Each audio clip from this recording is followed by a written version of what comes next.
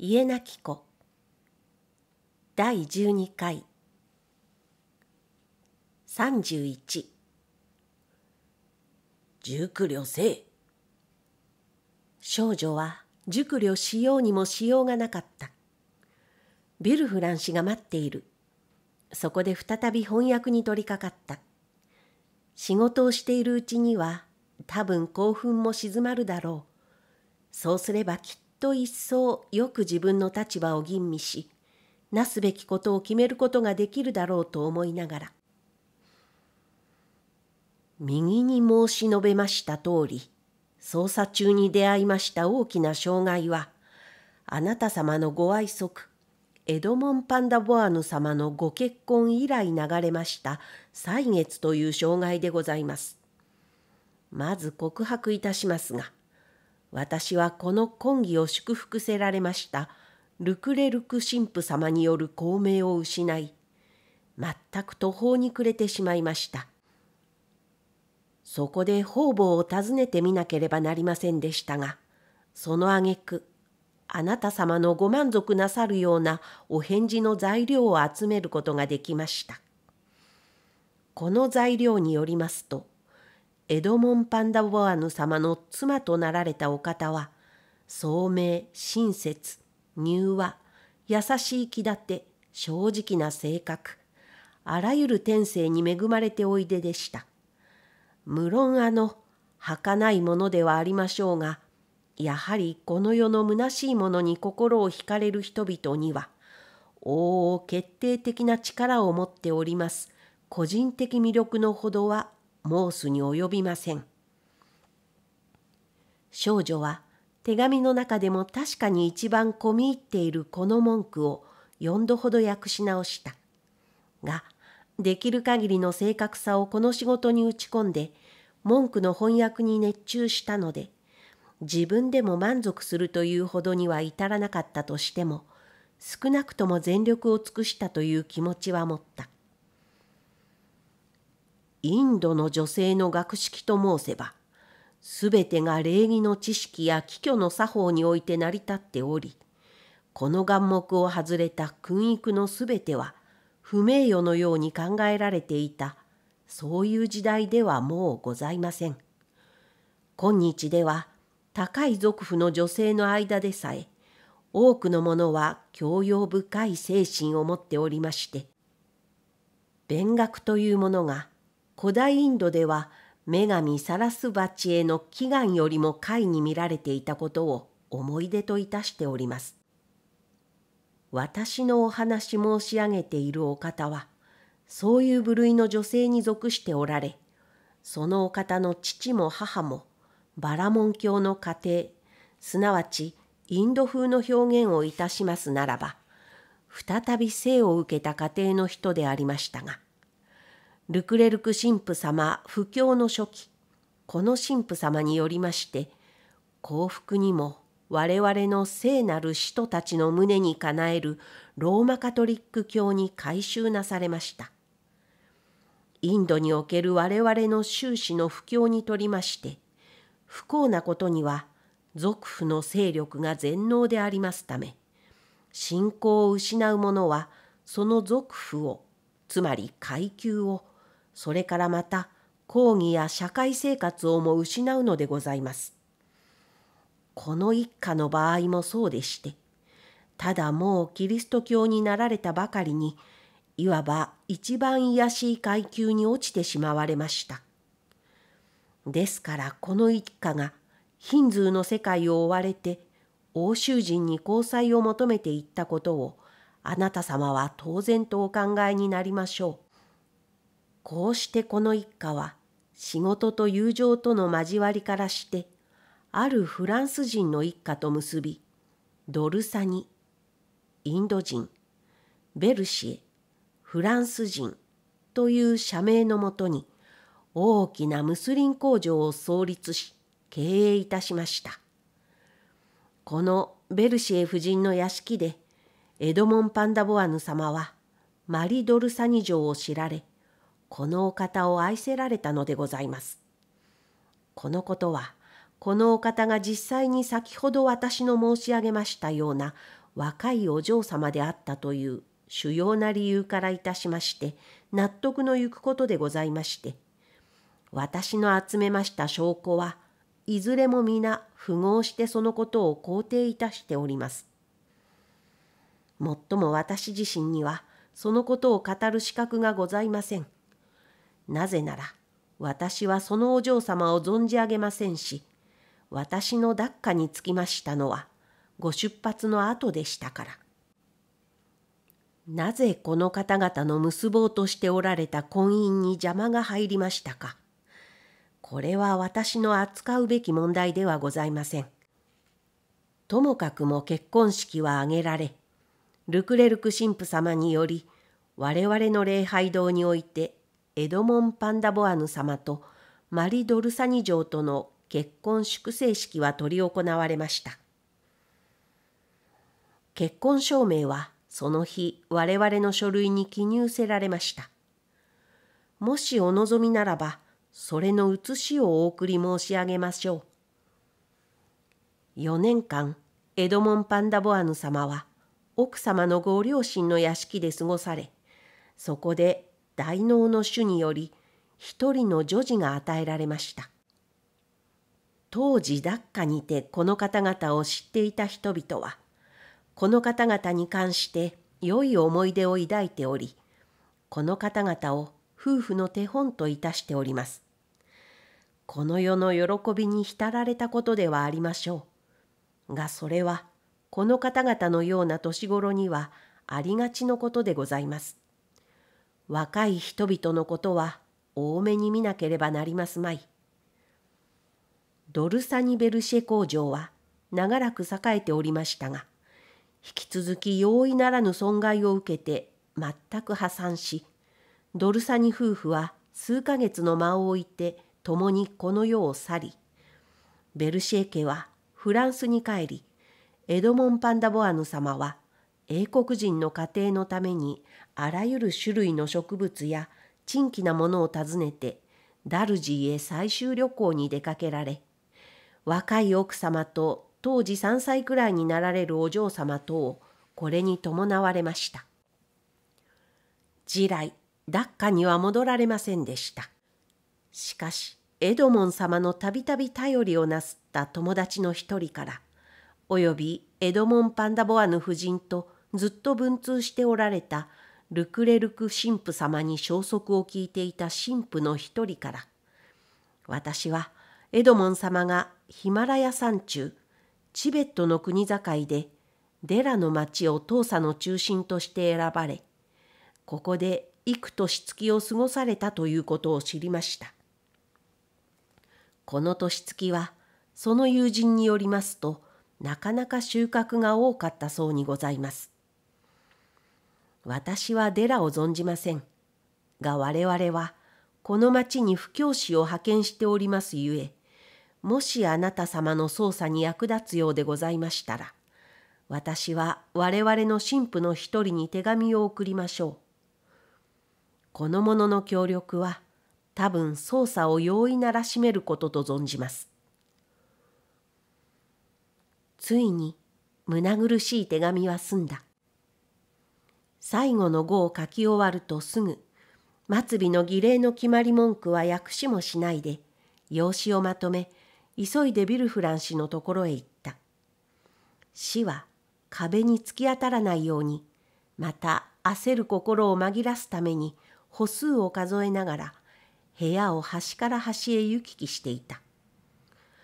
遅かったな。手紙が長くて難しかったものですから。おまけに邪魔されたのではないか？わしはあの部屋の扉が開いてしまった音を二度聞いた。尋ねられているのだから本当に答えなければならないと考えた。多分そうするのが満足な答えも見つからずに考え悩んでいるさまざまな問題に対する素直で正しい解決だ。テオドール様とタルエル様とが部屋へおいでになりました。ほう。死はこの点に立ち入りたそうな様子だった。が思いとどまってまず手紙じゃ。そのことは後で聞こう。わしのそばに座って声を立てずにゆっくりとはっきり読んでくれ。少女は言われた通りにどちらかといえば弱い声で読んだ。時々死は口を挟んだ。しかしそれは自分の頭の働きに従ってであって彼女に言いかけるのではなかった。夫婦の手本この世の喜び英国人の家庭誰の？友達の一人？誰だろう？消息というのはいつ頃からのことかな？彼女が手紙のしまいまで来ると死は自分の印象をまとめてこう言った「文章だけじゃ名前もない日付もないなんとまああの人たちのぼーっとした頭。この苦情は自分に直接に言われたのではなかったのでペリーヌは答えずにいた。そこで沈黙が起こりこれをかなり長く考え込んだ後に初めてビルフラン氏が破った「お前は今英語をフランス語に直したようにしてフランス語を英語に直すことができるか?」ええあまり難しい文句ではないのでしたら。電報は？できると思いますそれではその小さなテーブルについて書いてくれ。彼は書き取らせた。ダッカ伝道協会。フィルデス神父殿。手紙ありがとう。返信料25分昨日。消息を受けたる友達の名前。それの最近の日時。電報にて返事こう。デラの神父の名前もこう。当方より直接問い合わす旨その神父にあらかじめ伝えられたしパンダボアヌ。これを英語に直すんじゃ。なるべく短くするようにせ。1号が1フラン63チームだからむやみに使ってはならぬ。読みやすいように書いてくれ。彼女はかなり早く翻訳を仕上げてそれを大きな声で読んだ語数は？英語で45でございます。死は声高く計算して、すると電報料が72フラン、返信料32フラン、合計104フラン。今それをお前に渡すから、自分で電信局へ持って行って取扱者に読んでやれ。間違いをされるといけないから。ベランダを横切ろうとするとタルエルが事務室と庭で起こる一切のことを見張るようにして両手を隠しに入れてそこを歩いていた。どこへ行く？電信局へ電報を打ちに参ります。少女は片手に電報をもう一つの手にお金を持っていたが電報をひどく強くひったくられたのでもし話さなかったら破れてしまったであろう。彼はすぐそれを開いてみたが、英語だったのでむっとした。後ほどお前に聞くことがある。はい。彼女は3時になってやっと出発のためにベルで呼ばれてビルフラン氏に会った。誰が業務の代わりをするのかしらと一度ならず考えたが矛を引いてきた魚車を返した後自分の横に座るようにとビルフラン氏が言ったので大変びっくりした。お前は昨日上手に飼ってくれたのだから今日だとて上手にやれないことはない。話したいこともあるしそれには二人だけの方がよい。彼らの通るのを見て村人は昨日と同じ好奇心を見せた。村を出外れて草刈りの最中であった野原を横切って静かに走っていくとそれまで黙っていたビルフラン氏は初めて口を開いた。ペリーヌは大層困った。できることなら自分にとって危険のたくさんあるように思われるあの説明をする時期をもっと伸ばしたかったのである。テオドールとタルエルが部屋へ来たそうじゃな。はい。何をしに来たのじゃ。少女はぐっと胸が塞がって躊躇していた。なぜに躊躇するお前はわしに何でも言うはずではないかはい。何でも申し上げなければなりません。でも、やっぱり躊躇いたします。しなければならないことをするときには、決して躊躇してはならぬ。もし黙っていなければならないことなら黙っていよ。もしわしの質問に、わしは質問しておるのじゃから、答えなければならないと思うなら答えよ。お返事しなければならないと思います。聞こう。彼女はテオドールと自分との間に起こったことを一言も言い加えずまた言い落としもせず正確に語った。それだけか。とビュルフラン氏は話が済むと尋ねた。はい、それだけです。ではタルエルは彼女は老いについて述べたことを監督についてもありのままに述べ始めた。ただしあの不用意にあまり出し抜けに悪い消息を知らせるとあの人の命に関わるという文句は言わないでおくためビルフラン氏の病気に関した点は少々取り繕った。次にタルエルの最初の試みを語った後電報について起こったことを述べ婚友ということになっている面談のことをも隠さなかった。話しながら少女は個々を勝手に歩かせておいた。そこでこの年寄りの馬は生ぬるい微風に吹かれて鼻先へやってくる乾いた株の良い香りを嗅ぎながら静かに体を動かしていた。この微風は同時に鎌を振るう音をも運んできたので馬は自分の若い頃やがては埃だらけの道を車を引き苦労し無知やひどい仕打ちを忍ばなければならなくなるだろうなどとは思いもせずにまだ仕事もないので野原をあちらこちらメス馬や仲間の幼い馬たちと一緒に駆け回ったことを思い出していた。少女が黙るとビルフラン氏は長いこと何も言わずにいた。少女はじっと目を注いでいることを悟られずに彼を熟視することができたから彼の顔におそらくは不満と悲哀とからなっているらしい苦しそうな不安が浮かぶのを見た。ついに口を開いて「何よりもまずわしはお前を安心させなければならぬ。お前の言ったことは誰にも言わぬ。お前がしゃべったためにお前に災いが起こるようなことはないしさような誘惑を正直に拒んだお前に向かってもし誰か復讐しようとするものがあってもわしはお前をかばってやるから心配はいらぬ。しかしわしは怒ったことには責任がある。一体人の好奇心を呼ぶに決まっていたあの手紙に関しては何も言うなとお前に言いつけた時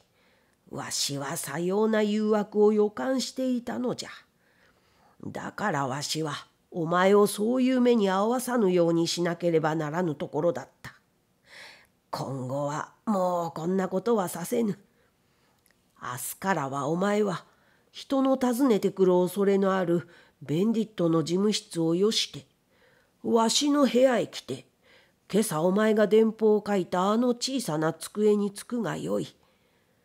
わしの前ならまさかお前に問いかけもすまい。しかし事務所以外のところフランソワズの宿で誘惑されるかもしれぬから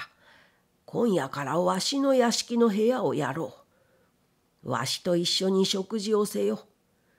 わしはこれからインドと手紙や電報のやり取りをすることになると思うがそれはお前にだけ見せるつもりじゃ。内緒にしておかなければならぬ消息を人がお前から無理やりに奪おうとしたり巧みに聞き出そうとしたりしないように用心しなければならぬ。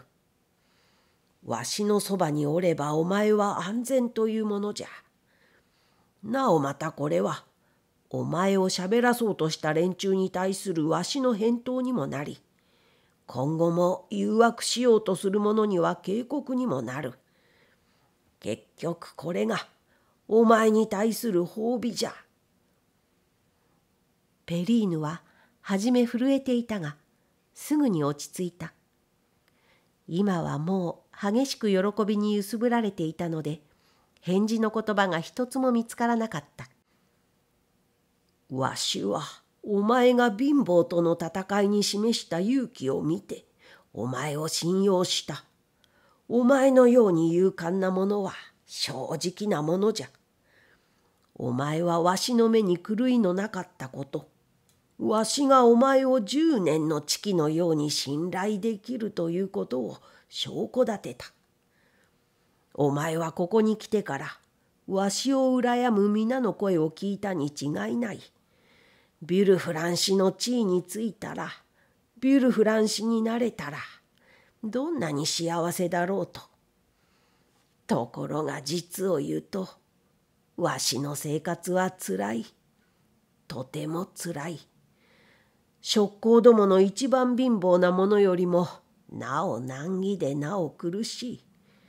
財産なんぞそれを楽しむ健康がなかったら何だろう。何よりも重い荷物に過ぎぬ。わしは両肩に覆うておる荷物で潰されそうじゃ。毎朝わしは思う。七千人の職工がわしに頼ってわしのおかげで生きておる。わしは職工のために考え働かなければならぬ。わしがいなくなったら災難じゃ。皆貧乏になってしまい大抵の者は飢えおそらく死ぬだろうと。わしはあの連中のためにまたわしの喜びであり光栄であるわしの建てた工場の名誉のために進まなければならぬ。ところでわしは盲目じゃ。しばらく途切れた。この激しい悲嘆を聞いてペリーヌの目にはいっぱい涙がたまった。しかし間もなく死は続けて「お前はわしに一人の息子があることを村人の交わす話で知っているに違いない。またお前が訳したあの手紙でもそのことを知ったろう。がこの息子とわしとの間にはわしの話したくないあらゆる種類の理由から大きな争い事があって別れあれがわしの反対にも構わず結婚を取り決めた後はすっかり仲違いをしてしもうた。しかしわしの愛情は消えはしなかった。なぜというにわしはこんなにも久しい年月を経たがいまだにあれをわしの育てていた自分の子供見たように思ってあれを愛しておるからじゃ。あの子のことをつまりわしにとってはあんなに長かった昼と夜とのことを思うと一人の幼い子供がわしの見えぬ目に浮かぶ。あの子は自分の父親よりもあの女子を愛してたわいもない結婚をして妻にしてしまいおった。わしはその女子を迎え入れることはできなかったしそうしなければならぬわけもなかったから、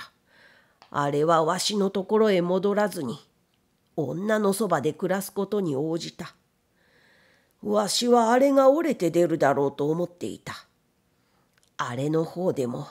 わしが折れて出るだろうと考えていたに違いない。が、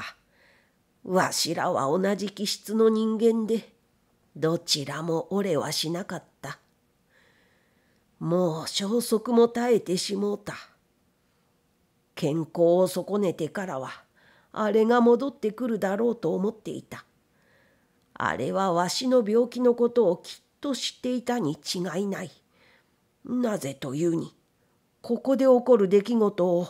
あれが知らされていたと考える理由は十分わしにあるからな。あれは戻ってこなかった。確かにあの女が、あれをわしに取られたくない、自分のそばに置いておきたいというので、引き止めたのじゃ。浅ましい女めが。ペリーヌはもう息も吐かず、ビルフラン氏の言葉に遮られて聞き入っていたが、この言葉に口を挟んで、でも、フィルデス神父様の手紙には、聡明、親切、柔和、優しい気だって正直な性格、実にいい性質に恵まれた若いお方とありました。浅ましい女をそんな風には言えませんわ。手紙の文句が事実に対抗できるかな。だいたいあの女はああいう手合いの女らしく身を引いてわしの息子が当然あれのものである生活をここで再び見つけて送るように仕向けなければならぬところをそばに息子を引き止めておる。わしがあの女に腹を立てあの女を憎んだ大きな事実というのはそのことじゃ。結局あの女のおかげでわしらは離れてしまいお前も知っての通りいくら捜索させても居所さえ知れぬ。この捜索にいろんな邪魔の入ることはお前もまた知っておる。ところである特殊の事情があってこの面倒が込み入ったものになっておりわしはその事情をお前に説明する必要があるのじゃ。おそらくお前ぐらいの年頃の子供には分かりかねるかもしれぬがしかしお前はわしの信頼を受けて仕事を助けてくれるのだから大体は分かってもらわなければならぬ。わしの息子の長い間の不在行方不明わしらの仲違い息子についての最後の消息を受け取ってから流れた長い年月こういうものがどう避けようもなくある種の希望を人々に起こさせたのじゃ。つまりもしわしが荷物を全く背負いきれなくなった時わしの地位につきわしが死んだ時わしの遺産を継ぐのに息子というものがいなかったら誰がその地位につく？誰に財産は戻る？こういう問題の陰で待ち伏せしている希望というものはお前にわかるかな？どうにかわかります。結構じゃ。いっそこれは少しもわからなくとも構わぬ。そういうわけでわしの身辺にはわしを援助してくれるはずの連中のうちには息子が戻ってこなければよいがと思いそのことを思うと心が落ち着かずただもうそれだけの理由で息子を死んだと考えているらしい連中がいる。死んだなぞと。わしの息子がとんでもないそんな恐ろしい不幸せを神様がわしにくださるものかあの連中はそう考えるかもしれぬわしには考えられぬエドモンが死んだらわしはこの世で何をしよう自然の法則は子が親を失うということであった親が子を失うということではない。とにかくさような希望は狂気の沙汰じゃ。わしはそれを証拠立てるいずれ劣らぬ立派な理由を嫌というほど持っておる。エドモンがもし事故で死んだのならわしはそれを知るはずじゃ。あれの嫁が一番先に通知してもくれたろう。エドモンはだから死んではおらぬ。死んだはずはない。わしは反対を信ぜぬ父親じゃ。ペリーヌはもう目を注がずまるで見られでもしているかのように目をそらせて顔を隠した。それを信ずる連中は死んだと思っておる。そこでそれ、あの連中は知りたがるし、同時にわしはわしで用心して、創作に関する事柄は一切秘密にしようとするのじゃ。わしはお前に隠さずに言う。まず、わしと一緒にやる仕事。つまり息子をその父親へ返すという仕事を知ってもらいたいからじゃ。お前は十分真心を持って忠実に努力してくれることを確信しておる。わしは重ねてそう言いたい。なぜというに、わしの生き方はいつも自分のすることを包まずに述べて、目的へまっしぐらに進むということだった。折々悪賢いやつらは、わしを信じようとせず、わしをまやかし者と考えおった。が、こやつらはいつもその罰を受けた。すでにお前を罠にかけようとしたものがある。これからもまだするだろう。ありえることじゃ。手を変え品を変えて。お前にあらかじめ知らしておく。わしのしなければならぬことはそれだけじゃ。二人はマロクールから一番遠いエルシュの工場の煙突の見えるところに来ていた。さらに少し走って村へ入った。ペリーヌは気も転倒し、震えながら返事の言葉を見つけたが見つからなかった。感動に心は自由を失い、喉は塞がり、唇は干からびていた。ついに声を上げて、私は心からあなたのために尽くしますと申し上げなければなりません。32夕方工場巡回が済むといつもと違い事務室に引き返すのをよしたビルフラン氏はペリーヌに言いつけてまっすぐに屋敷に向かわせた。彼女は初めて金属工芸の傑作である堂々たる金色の作文を超えた。この作文は人の語るところによると最近の博覧会において王様も手に入れることができなかったがこの富豪の実業家はその別荘用としてもそんなに高価だとは思わなかったという。ぐるっと回っている大きな道を行ってくれ。少女はまた初めて間近にそれまでは遠くからしか眺めたことのない花の茂みが短く刈り込んだ芝生の濃いビロードの上に点々と赤色やバラ色をしているのを見た。ココはこの道に慣れているので静かな足取りで登っていく。そこで彼女は狩る必要もなく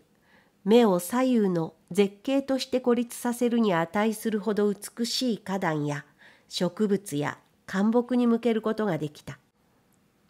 思うに主人はこれらのものを昔のように眺めることはできなくなったが庭の整頓は少しも変わらず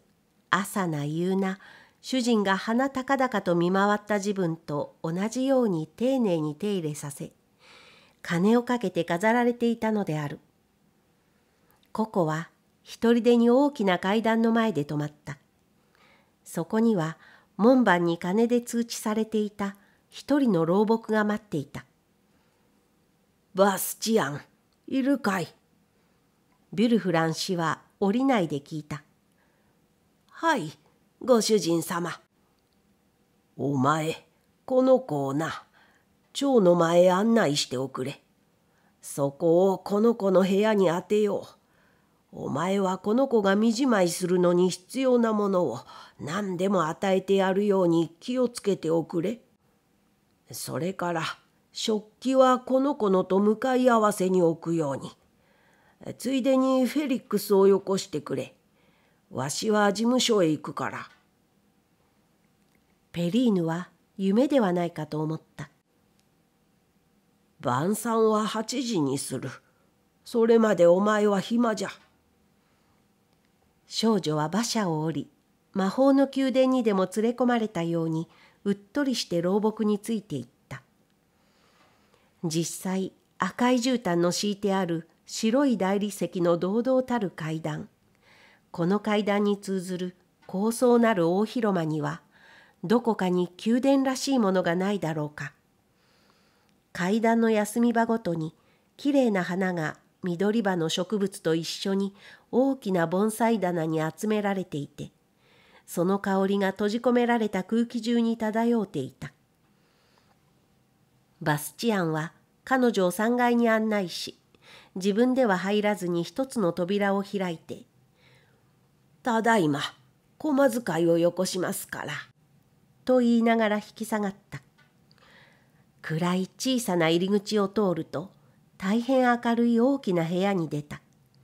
敷き詰められた象牙色の織物には、そこここに鮮やかな色の蝶々がひらひら飛んでいる。家具は斑点のある楓材で作られており、灰色の敷物の上には、ひな菊、美人草、矢車菊、金峰毛など、野の花の束が勢いよく浮き出ていた。なんと新鮮で美しいこと。少女は京丹から冷めあらず弾力のある柔らかい敷物を足で踏むのになおも興じていたすると駒遣いが入ってきて「バスチアンからお嬢様の御用を伺うようにとのことでございましたので」幾日か前にはネズミやカエルと一緒に沼の中で小屋の足の寝床に寝た娘の御用を聞きに明るい身なりをして鶴織のかぶり物をつけた駒使いが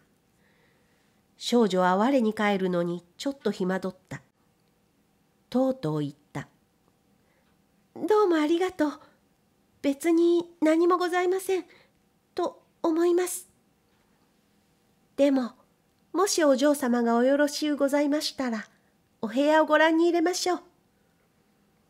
部屋を見せるというのは鏡付きの衣装ダンスや戸棚やそれからブラシハサミ石鹸瓶のいっぱい入った化粧机の引き出しそういうものを開けることだった。それが済むと駒使いは壁紙の中に取り付けたボタンに手をかけて「これが呼び鈴でございます」「これが伝統でございます」たちまち部屋も入り口も化粧室もまばゆいばかりの光で輝いた。が、またたちまち消えた。ペリーヌは自分がまだパリの近くの野原にいて、夕立に襲われ、空が裂けて閃光が道を照らしたり、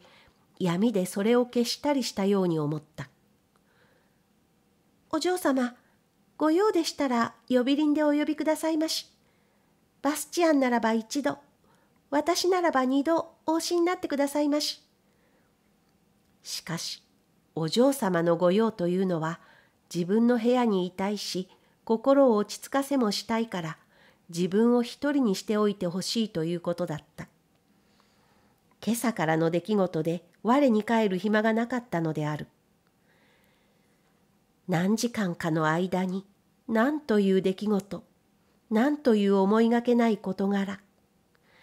今朝テオドールとタルエルの脅迫を受けて身に大きな危険を感じていた時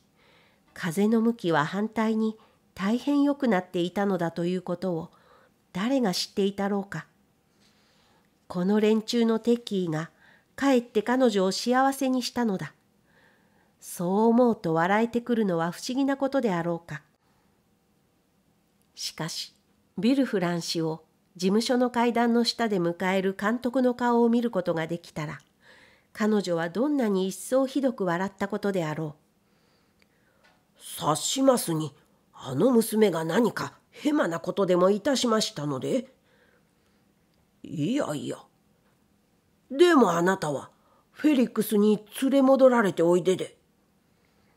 それはわしがあの娘を通りがけに屋敷に置いてきたからじゃ。晩餐に身支度する暇があるようにな。晩餐？あの察しますに。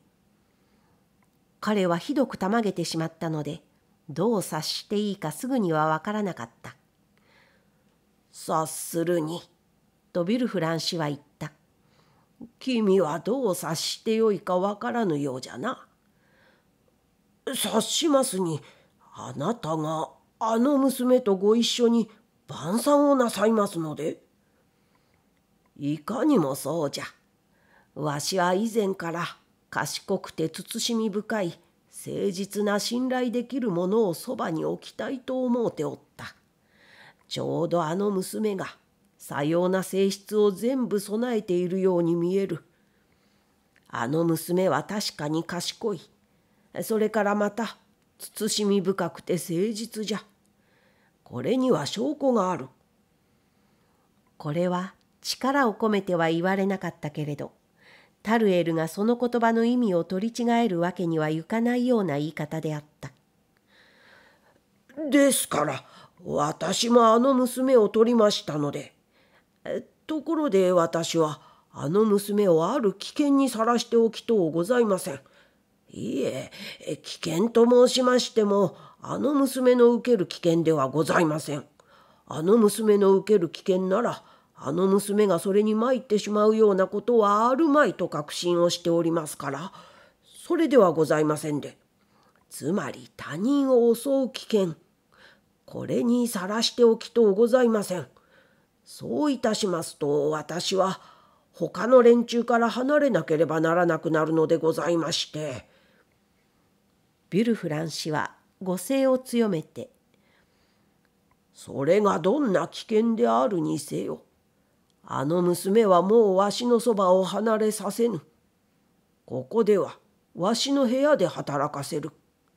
昼の間はわしのお供をさせる。食事はわしの食卓でさせるあれのおしゃべりでわしの食事もにぎやかになり気もめえらなくなるだろう。わしはあれを屋敷に住まわせる。タルエルは冷静に戻ることができた。そうして主人の考えに対しては明白にはどんなわずかの意義をも唱えないというのがこの男の性格でもあり行為の方針でもあったので察しますにあの娘はあなたにあらゆる満足を与えることでございましょう。ご期待は甚だごもっとものことと存じます。わしもそう思う。この間ペリーヌは窓の露台に肘をついて眼前に広がる景色を眺めながら夢見ていた。花の咲いた庭の芝生、工場や村、その村の人家や教会堂や野原や夕日の斜めの光の下で銀色に光っている池、それと相対して向かう側に木立。あそこで自分はここへ着いた日、腰を下ろして夕暮れの微風の中で、お前は幸せになる、とお母さんのささやく優しい声を聞いたのである。恋しい母は未来を予見していたのだった。またあの大きなひなぎくも母の言わせたお告げを伝えて本当のことを知らせてくれた。幸せになると。少女は幸せになり始めている。たとえ完全に成功したとはまだ言えなくとも、だいぶ成功したとさえ言えなくとも、少なくとも、わずかばかり以上には成功する状態にいることを少女は認めてよかった。辛抱強くしているなら、そうして待つことを知るならば、残りのものは来たる時に来る。今は何が彼女を悩ませていたろう。こんなにも早くお屋敷に入った彼女は、貧困にも欠乏にも悩まされてはいなかった。工場の汽笛が弾ける時刻を告げた時少女はまだ炉台によって夢の中を飛んでいた。そこで汽笛の鋭い音は少女を未来から現在の世界へ引き戻した。すると緑の野原黄色の畑を貫いて走る白い街道や村の往来を見下ろす展望台の高みから職工たちの黒いアリの群れが広がるのが見えた。それははじめぎっしり詰まった大勢の人混みであったが間もなくいくつもの流れとなり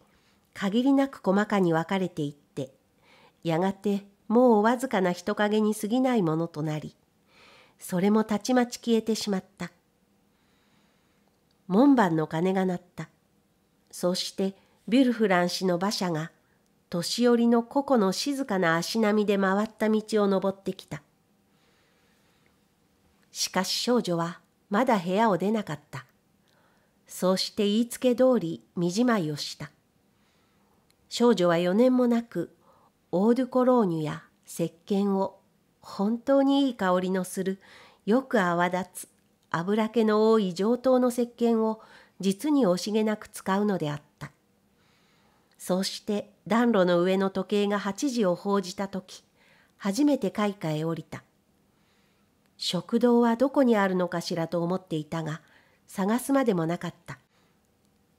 広間にいた黒い洋服の召使いが案内をしてくれた。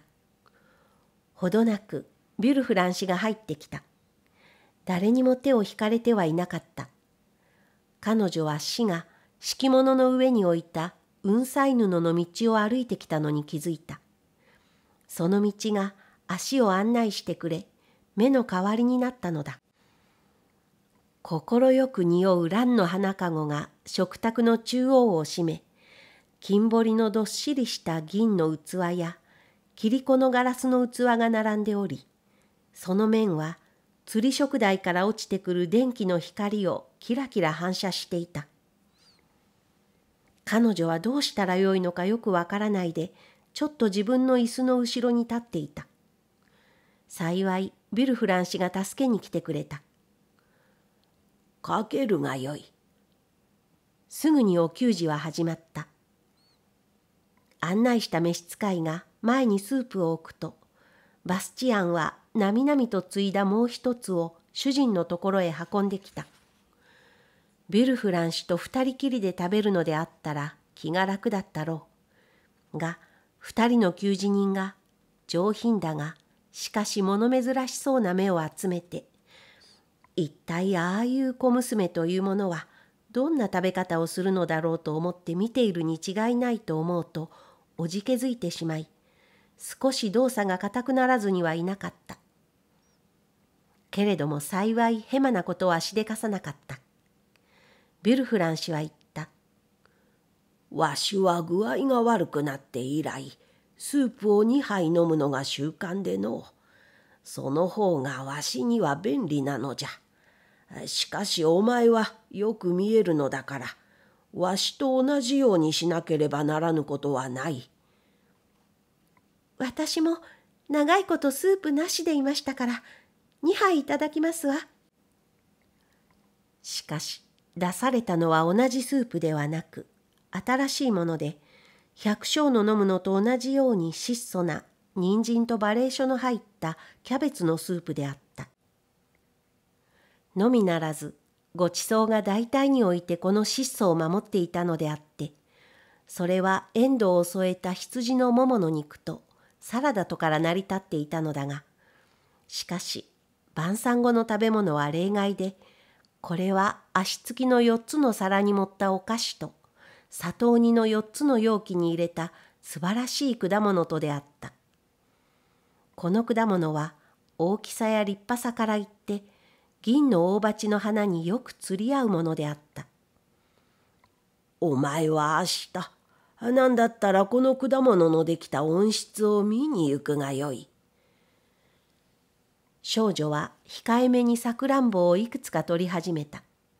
しかしビルフラン氏はあんずや桃やぶどうをも取るように進めた。わしがお前の年頃だったら食卓の上の果物は皆平らげてくれるのじゃが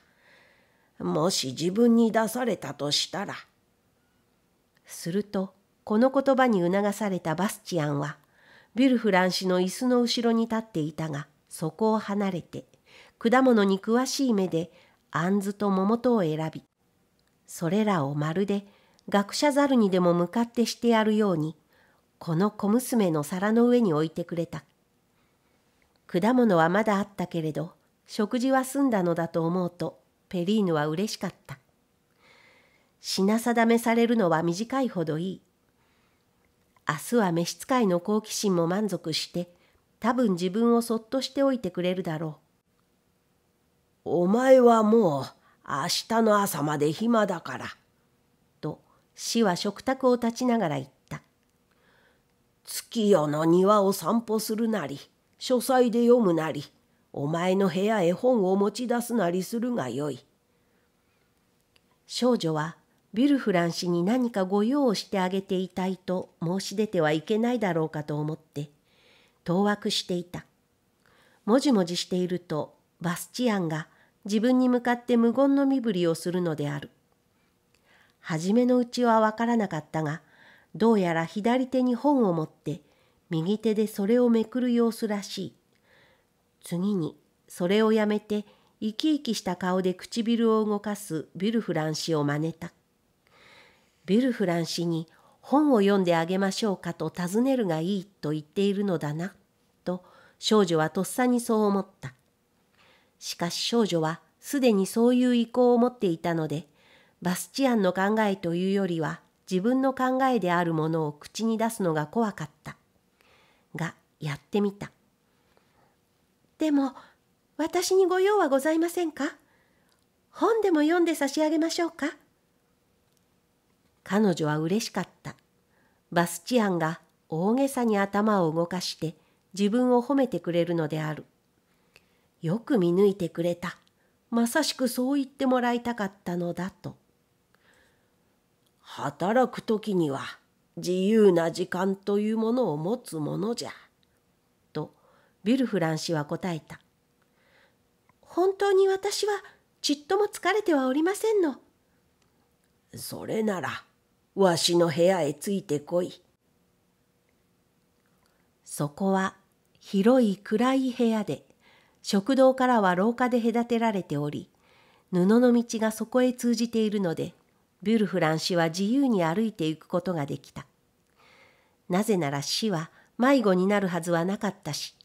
頭の中でも両足でも距離を正しく心得ていたから。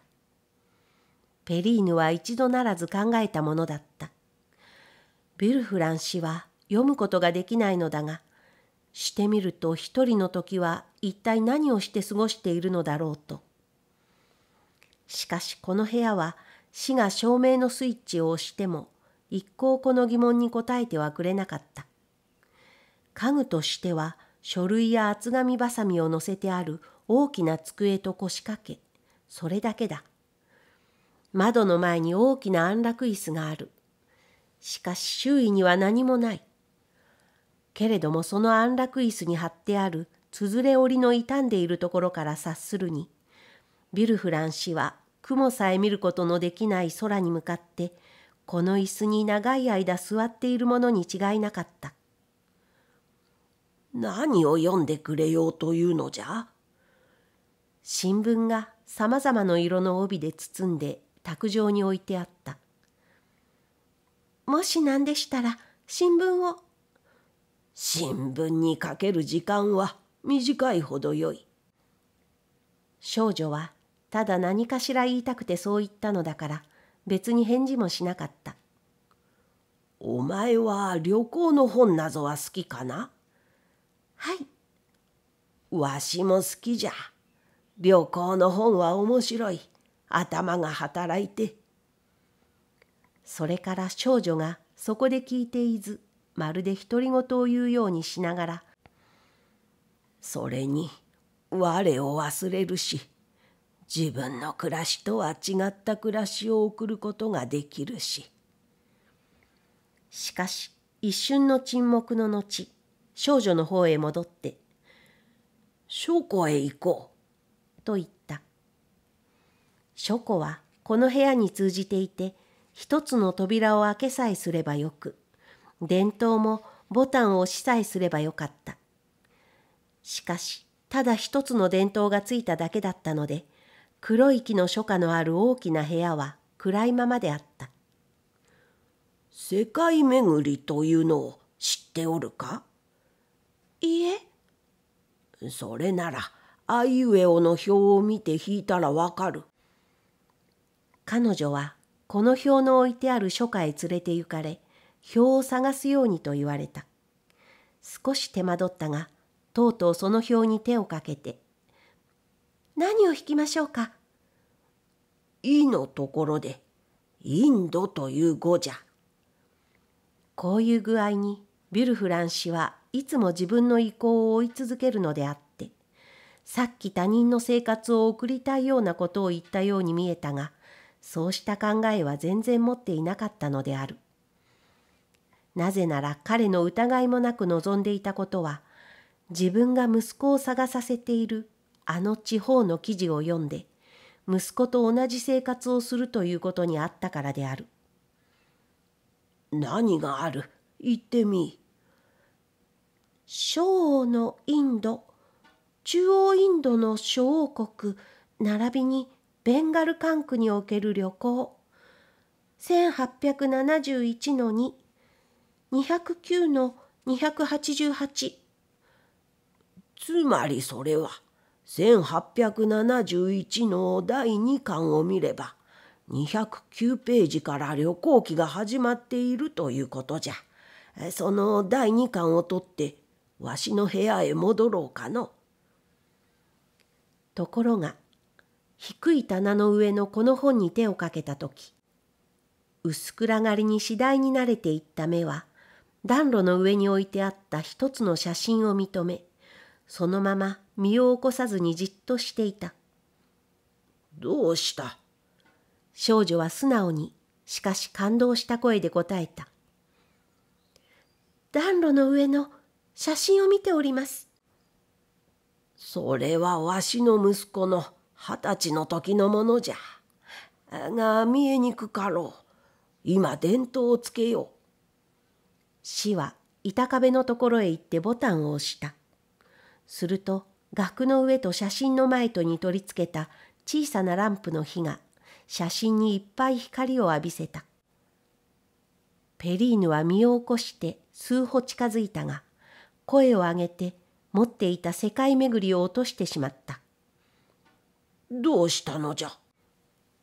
しかし彼女は返事をしようと思わずじっとその若者に目を注いでいた。その若者は金髪で緑のビロードの狩り絹を着、ひさしの広い深い鳥打ち棒をかぶり、片方の手は銃に添え、もう一方の手は生きた幽霊のように塀から飛び出してきた黒いスパニエル犬の頭を撫でていた。少女は頭の先からつま先まで震えた。そうして涙は滝のように顔を流れたがじっと見つめることに我を忘れ引き込まれてそれを止めようとは思わなかった彼女は沈黙を守っていたのにこの涙がつい感動を外に漏らしたなぜ泣く？答えなければならない。一生懸命に努力して自分の言葉を思うように操ろうとした。しかし聞いてみるとそれが全くなっていないものであるのを感じた。このお写真がお子様はあなた様はこのお方のお父様で。死はちょっと訳が分からずに差し控えていたそれから同情して感動した口調で「お前も身寄りの者のことを考えたのか」ええ、そうなのです。そうなのです。かわいそうにのう。